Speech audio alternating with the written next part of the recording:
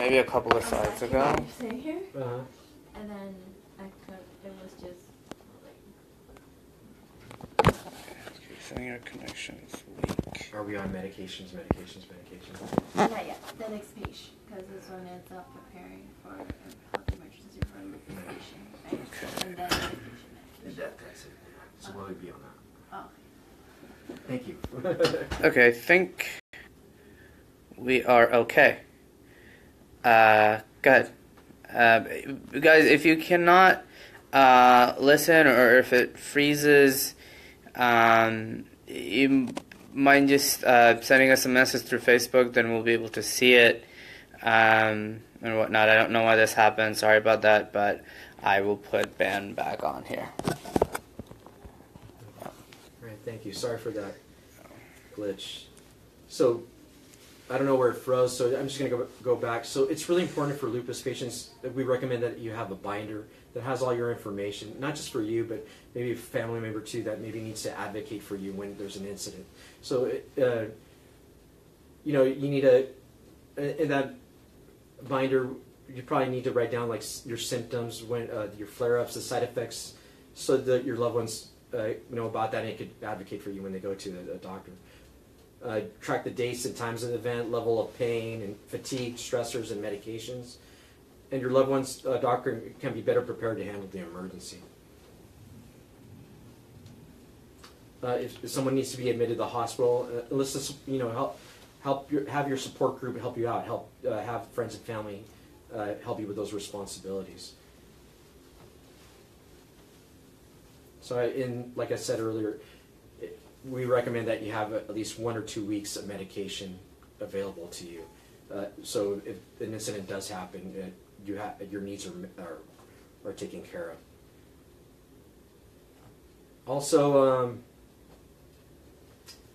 in the pack, we, we recommend that you have freezable ice packs, uh, immunization and dates received, any allergies that you have, uh, in a family health history.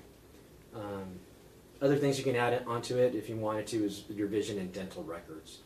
Records are notes for the most recent physical examination. And you can also add other information on there about your health, including diet and exercise regimens if you wanted to. And next slide. And the last thing, um, don't forget to prepare for your uh, with your pets. You know, bring uh, have an extra collar, leash, their identification, medications, and food for them too for for at least three days for or for them to supply. And other things we could do to prepare is we could. There's plenty of classes out there right now. Yeah, I recommend that everyone takes a CPR class, a first aid class, and and also within the city city of San Jose, there's a lot of or, local organizations. I know there's a, a, a um, website Nextdoor. There's organizations that have drills and how to and have CPR classes and how to, you can prepare for uh, disasters. I know the Almaden area has a CERT team there that has monthly classes. And I'll go over some questions now that Span gave me earlier. Um, someone asked a question about medical braces. So, so we do come across the medical bracelets. Any information that you're able to provide for us, the fire department, when we go to emergency, especially if a person's uh, not able to speak for themselves, it's very helpful for us. That, and that helps us, uh, gives us guidance on how to help the patient out. So the medical bracelets would be a great thing to have. I know a lot of the phones now, the, the smartphones have an app on it themselves where you can plug in your medical information in, in itself. And in uh, the fire department, you just hit that, that button and you can put your, your name, any medications, and, and people that we can contact in case there is an emergency. Also, our fire department, the San Jose firefighters, we're providing something called the Vial of Life. Um, I think I gave some to Aaron last time we had it, uh, had an event, and it's just a little file and it's a little paper and has your name, basic information, your medications, and you put that up in your refrigerator or somewhere that is accessible. So if someone calls 911, we, we can we can find it. That's one of the places we look at, and that'll help both of us, and it'll help the fire department helping you out. Someone also asked a question about disposal of used medications. This county of Santa Clara has a program. You can go to their website, and they have disposal areas for their medications. They they don't want the medications getting into the water, so they passed a proposition uh, back in 2015, and you're able to dispose your medications through them. Some of the pharmacies too, if you go to, you're able to drop off um, old uh, unused medication, out of date medication. That'll help um, the environment. Um, any other questions that we received? Yeah. Uh, so one of the uh, concerns uh, you said there is a seventy-two percent chance of an earthquake, six point seven or higher in the next forty-three years. Uh, so what? Give us an idea about what a six point seven earthquake looks like. What's the damage? What's the Uh-huh. What? Well, um, I've experienced 6.7 earthquakes. Uh, uh, it depends on the buildings.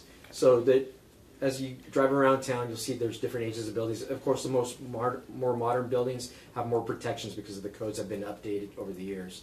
Um, if there is a 6.7 earthquake, there's going to be broken windows. Um, there's going to be lights falling, debris falling. That's one of the critical things we have to do in our homes this is secure our furniture.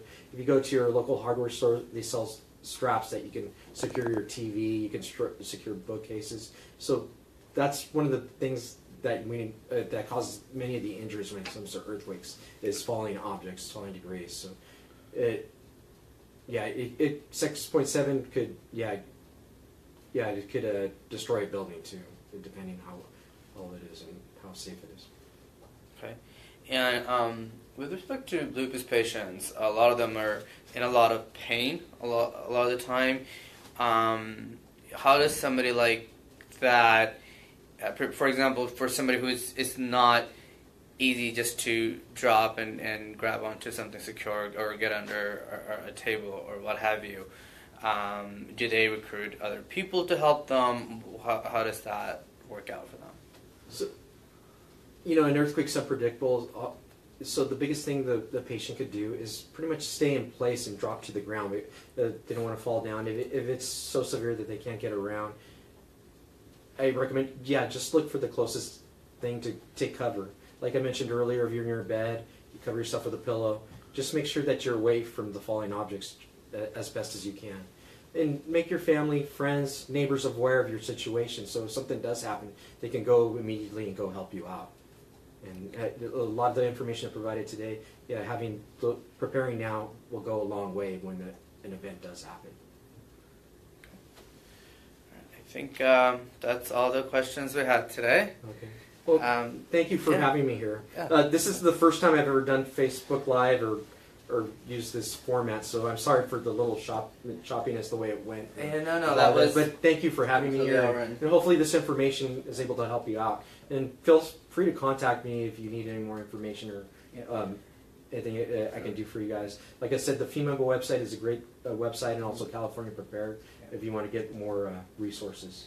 Yeah, and I don't know if, if all of you saw, um, there was a slide presentation going along with uh, what Ben was saying here um, on your little iPad. But what we will do is uh, we will put um, the entire presentation on Facebook for you to see. Um, so if you want to refer to it later, and obviously now these two videos uh, will also uh, be archived on our Facebook page um, for everyone uh, to check out later.